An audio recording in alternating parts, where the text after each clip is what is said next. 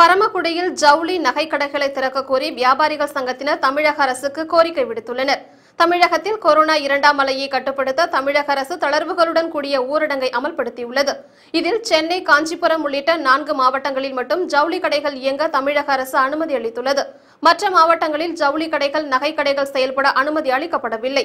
இதனையடுத்து ராமநாதபுரம் மாவட்டம் பரமக்குடியில் தனியார் மகாலில் பரமக்குடி வியாபாரிகள் சங்கம் சார்பில் ஆலோசனைக் கூட்டம் நடைபெற்றது.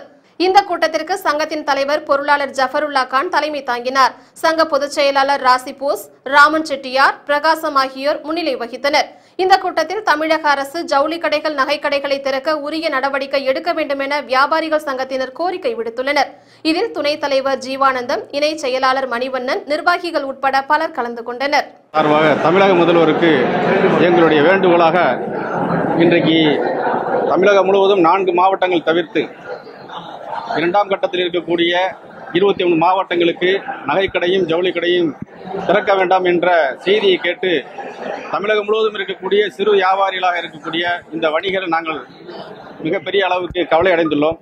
கடந்த வாரத்தினுடைய தமிழக முதலமைச்சர் வந்து அடுத்த தளர்வின் போது கொடுக்கப்படும் என்ற சொல்லியிருக்கிறார் என்று எங்களுடைய வியாபாரி சங்கத்தினுடைய தலைவர்கள் கூறியிருக்கிறாங்க.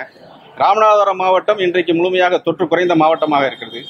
இரண்டாவது வகையில் அறிவிச்சிக்கக்கூடிய பல மாவட்டங்களுடைய தொற்று எண்ணிக்கை மிகப்பெரிய அளவுக்கு குறைந்திருக்கு. அரசுக்கு நாங்கள் கொரோனா தொற்று குறைவதற்கான நடவடிக்கையிலே நாங்கள் ஈடுபட்டிருக்கிறோம். அந்த அடிப்படையில் எங்களுடைய வாழ்வாதாரம் இது கிராமப்புறங்களில் விவசாயத்தை சார்ந்திருக்கக்கூடிய இந்த மாவட்டம்.